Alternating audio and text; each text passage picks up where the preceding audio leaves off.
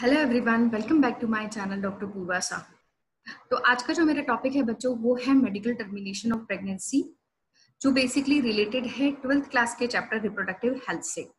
और एक जनरल भी पता होना चाहिए कि मेडिकल टर्मिनेशन ऑफ़ प्रेगनेंसी क्या होता है, क्या ये इंडिया में लीगल है, और अगर लीगल है तो किस पर्टिकुलर कंडीशन में ये लीगल है। अभी 2020 में इसमें कुछ अमेंडमेंट हुआ है, जो कि लोकसभा में पास आउट हो चुका है। तो वो क्या अमेंडमेंट है उससे क्या फीमेल्स को बेनिफिट हो सकते हैं, ये सब चीज़ें मैं डिस्कस करूँगी इस वीडियो में। तो चलिए वीडियो स्टार्ट करते हैं one by one so medical termination of pregnancy student हो गया आपके।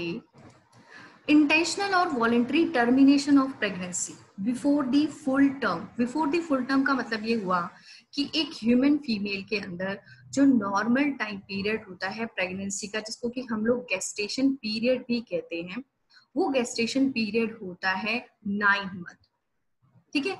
तो नाइन मंथ से पहले अगर इंटेंशनल और वॉलेंट्री फीमेल टर्मिनेट करवाना चाहती है अपनी प्रेगनेंसी को तो that is called as a medical termination of pregnancy but इसकी एक पर्टिकुलर ड्यूरेशन डिसाइडेड है कि नाइन मंथ से पहले कब तक फीमेल उस प्रेगनेंसी को टर्मिनेट करवा सकती है under some conditions so that is known as what that is known as a medical termination of pregnancy India में ये लीगल है, इसको लीगलाइज किया गया था 1971 में। उससे पहले, इसको जैसे हिंदी में कहा जाता है गर्भपात। तो उससे पहले गर्भपात को अपराध माना जाता था बट अब अपराध नहीं माना जाता कुछ कंडीशंस के अंतर्गत। ठीक है? So government of India legalise this M MTP in 1971 with some strict condition to avoid it misuse क्योंकि लोगों ने जब एमटीपी के बारे में जाना और ये जाना कि ये तो लीगल है तो उसका मिसयूज भी हो गया। वो मिसयूज क्या था? स्टूडेंट हम लोग नेक्स्ट स्टेटमेंट में पढ़ते हैं। Such restrictions are all the more important to check indiscriminate and illegal female foeticide female foeticide के केसेस बढ़ गए। फीमेल फिटिसाइड मतलब ये हुआ कि सेक्स डिटरमाइन कर लिया जाता है। सेक्स डिटरमाइन करने के बाद में अगर पता चलता है कि होने वाला बेबी जो है वो मेल चाइल्ड नहीं होके वो फीमेल होगा। तो उस केस में फीमेल फिटिसाइड होता है, गर्भपात करवा दिया जाता है, गर्भ में ही फीमेल फीटस को खत्म कर दिया जाता है। इसका रिज़ल्ट सोसाइटी में जो सेक्स रेशो होता है मेल एंड फीमेल रेशो जो होता है, वो डिस्टर्ब हो जाता है। फीमेल काउंट कम होता जाता है और मेल काउंट बढ़ता जाता है। तो एमटीपी के मिसयूज ना हो फीमेल फिटिसाइड के केसेस ना बढ़े इसलिए एमटीपी को कुछ रिस्ट्रिक्शंस के साथ ही लीगलाइज किया गया। उसकी एक पर्टिकुलर टाइमिंग ड्यूरेशन दिया गया कि इस टाइम तक ही एमटीपी करवाई जा सकती। है वो क्या है? हम लोग देखते हैं हमारी नेक्स्ट स्लाइड में। Why female choose MTP so, they choose mtp to get rid of unwanted pregnancies and that unwanted pregnancy either due to the casual, unprotected sex. Or the failure of the contraceptive used during the coitus or rapes तो unwanted pregnancy को avoid करने के लिए जो कि generally हो सकती है कोई कॉन्ट्रासेप्टिव मेथड फेल हो गया या किसी सेक्शुअल इंटरकोर्स के टाइम पे कोई कॉन्ट्रासेप्टिव मेथड यूज़ नहीं किया गया और फीमेल प्रेग्नेंट हो गई तो वो उस प्रेगनेंसी को कंटिन्यू नहीं करना चाहती तो उस केस में एमटीपी करवाई जा सकती है। और सेकंड केस होता है रेप के केसेस रेप में जहाँ पे की जो सेक्स होता है, जो अनवांटेड सेक्स होता है, अगर उसमें फीमेल प्रेग्नेंट हो जाती है तो वो भी एमटीपी करवा सकती है। ठीक है? Next that is also essential in certain cases certain cases where the continuation of pregnancy could be harmful और even fatal either to mother और टू फीटस और बोथ अगर प्रेगनेंसी कंटिन्यू करने से मदर या फिर फीटस या फिर दोनों की ही जान को खतरा है, उस केस में भी एमटीपी करवाई जा सकती है। तो एमटीपी करवाई जा सकती है, जहाँ अनप्रोटेक्टेड सेक्स हुआ हो, जहाँ रेप हुआ हो एमटीपी करवाई जा सकती है, जहाँ प्रेगनेंसी कंटिन्यू करने से माँ को या बच्चे को या माँ और बच्चे दोनों को ही जान को खतरा ठीक है? नेक्स्ट हम लोग पढ़ते हैं कि एमटीपी कब करवाई जा सकती है। So MTP are considered relatively safe during the first trimester जो गेस्टेशन पीरियड होता है, उसको हम लोग तीन ट्राइमेस्टर में डिवाइड करते हैं। First trimester second trimester and third trimester first trimester जो होता है, वो तीन मंथ का होगा।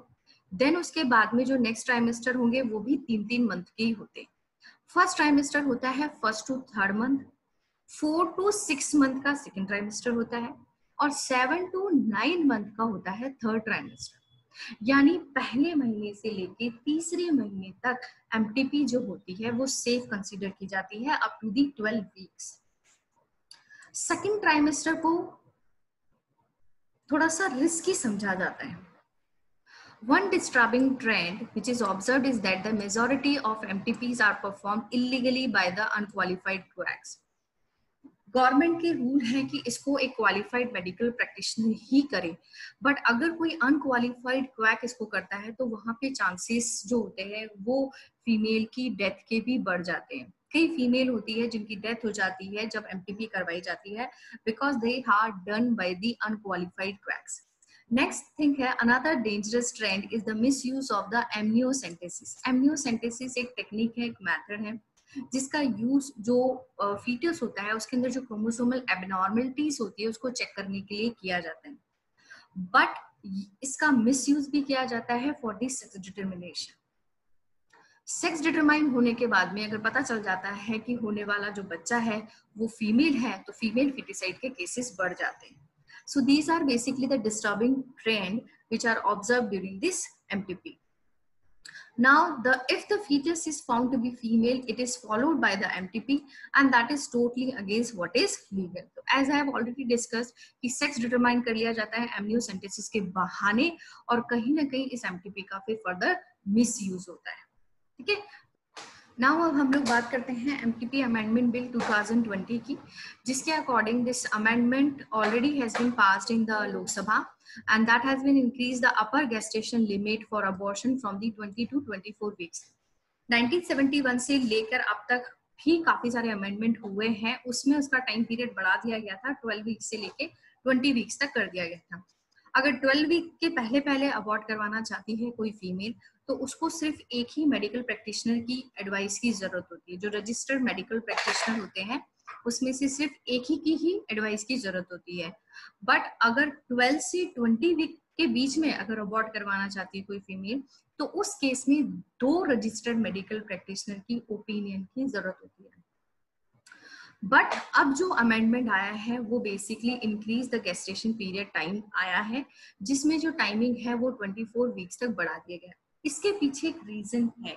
इसके पीछे क्या रीजन है, वो हम, मैंने यहाँ सेकंड सेंटेंस में प्रोवाइड किया है स्टूडेंट तो with advances in the medical technology certain fetal abnormalities are discerned only after the 20 week gestation period. Further abortion can be safely conducted up to 24 week by the medical doctor तो इस time period को इसलिए बढ़ाया गया है कि कुछ fetal abnormalities ऐसी भी होती है जिसके बारे में पता 20 वीक के गेस्टेशन पीरियड के बाद ही लग पाता है। और अगर वो क्रोमोसोमल एबनॉर्मेलिटीज उस बच्चे में रहेगी तो कहीं ना कहीं वहाँ लाइफ टाइम प्रॉब्लम हो सकती है।